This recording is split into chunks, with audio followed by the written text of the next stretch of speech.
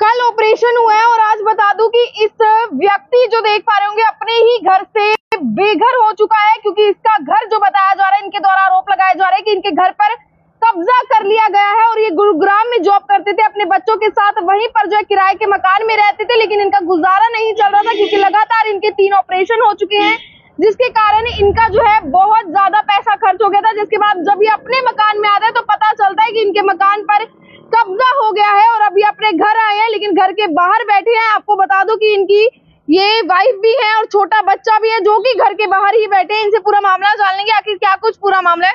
क्या कुछ पूरा मामला है ये? मुझे पता नहीं था मैं गुड़गांव जॉब कर रहा था मेरा ऑपरेशन हुआ। मैं वहीं था तो मुझे फ़ोन आया तुम्हारे बाथरूम तोड़ रहे हैं। लेकिन मुझे नहीं पता चला तो मैंने अपनी बुआ फूफा को किसी जगह भेजा पता करके वहाँ क्या कहानी चल रही है।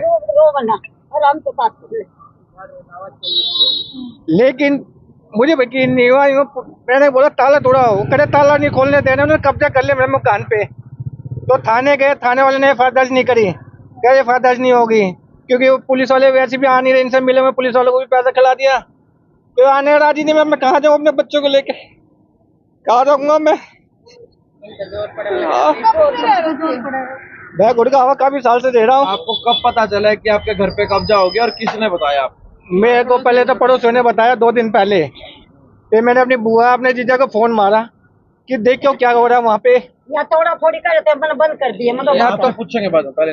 यहाँ पे तोड़ा फोड़ी हो रही थी तो इनको भेजा तो उन्होंने तोड़ा फोड़ी रुकाया फिर इन्होंने थाने गए थाने वाले ने एफ़ दर्ज नहीं करी। फिर थाने में इन्होंने ऑलरेडी पैसा दे चुके हैं बताओ मैं कहाँ जाऊँगा? मेरा मेरे बच्चों क्या होगा? प्रधानमंत्री तो कहते हैं प्रधानमंत्री आवास योजना। बीजेपी को वोट देके भी हालत हो रही घर से बाहर बेघर हो रखी। मैं कहाँ जाऊँ? आज आप अभी आए हो। आपने पुलिस को सूचना करी है? आप पुलिस ने आई पुलिस आई थी एक बार फ़ोन किया था। वो करे थाने जाओ तो एफ़ आई कराओ। लेकिन पुलिस सुने तब ना मेरे टाके वैसे लगे मैं हिल नहीं पाता थाने थाने से। गुड़गांव से बड़ी मुख्य से यहाँ पहुँचा।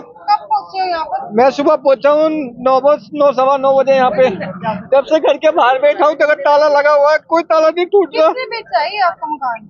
वो कह रहे हैं तुम्हारा भतीजा बेच के भाग गया। कौन है भतीजा आपका? वो मेरे वो मेरे आपके पास है आपके भतीजे के पास? मेरे पास है। किसके नाम है मेरी मम्मी के नाम है। फिर कैसे बेच दिया? वो कह रहे हैं रजिस्ट्री की रजिस्ट्री होती नहीं है। अच्छा। जिन्होंने ये कब्जा कर रखा है रजिस्ट्री होती नहीं है उन्होंने पैसे पैसे खा लिए। तो आपके भतीजे ने जो ये मकान बेचा है कैसे बेच दिया? आपको पता नहीं चला? कुछ पता नहीं चला। ये करो बेच के ले गया पैसे लेके चला गया। अगर तो उनको बुलाओ ना कहाँ है वो? वो फरार है। उसमें वैसे भी ऑलरेडी केस चल रहा है रेप केस का केस चल रहा है।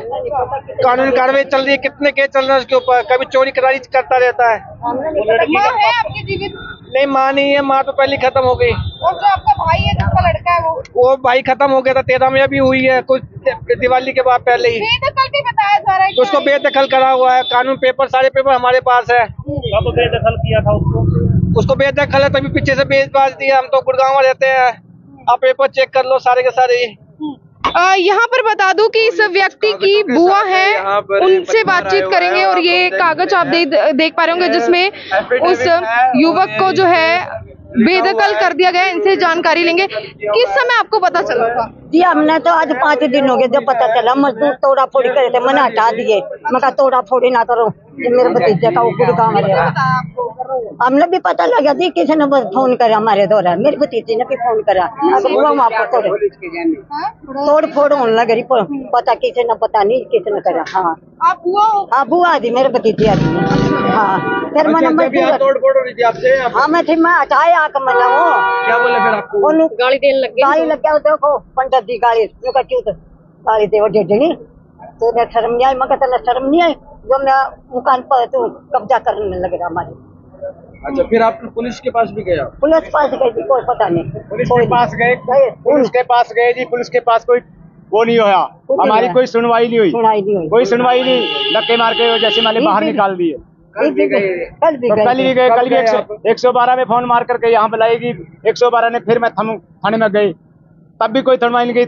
थाने गए? हाँ जी कौन से थाने हम-?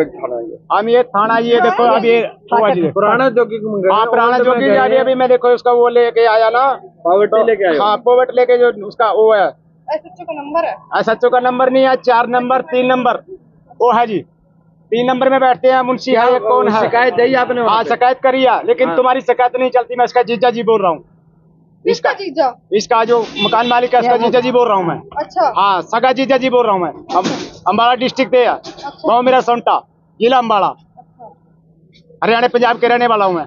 मेरा वहाँ यहाँ पर बता दूँ ये व्यक्ति है और देख पा रहे होंगे कि कल इनका ऑपरेशन हुआ और आज इनको यहाँ पर आना पड़ा क्योंकि इनके घर पे कब्जा कर लिया गया है और दूसरे पक्ष भी जो है जानकारी लेने का ज़रूर प्रयास करेंगे लेकिन आपसे ये अपील करूँगी। खबर को जितना ज़्यादा हो सके शेयर ज़रूर करें। किसी ने बताया कल ऑपरेशन हुआ है और आज बता दूँ कि इस व्यक्ति जो देख पा रहे होंगे, अपने ही घर से बेघर हो चुका है, क्योंकि इसका घर जो बताया जा रहा है, इनके द्वारा आरोप लगाया जा रहा है कि इनके घर पर कब्जा कर लिया गया है और ये गुरुग्राम में जॉब करते थे, अपने बच्चों के साथ।